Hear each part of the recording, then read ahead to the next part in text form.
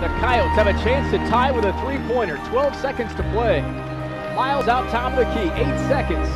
Miles, top of the key, three-pointer. Nothing but net with 5.8 to play.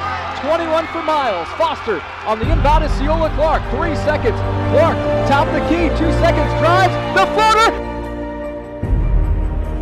It's good! Ceola Clark the sixth